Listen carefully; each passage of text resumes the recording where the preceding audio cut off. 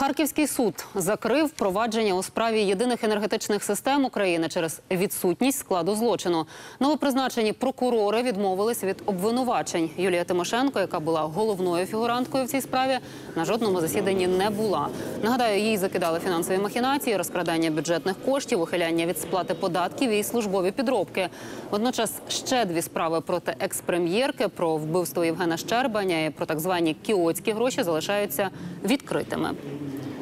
Ну а сама Юлія Тимошенко тим часом відвідала наметове містечко, яке утворилося на Хрещатику під Почаївським судом столиці одразу після її арешту у серпні 2011 року.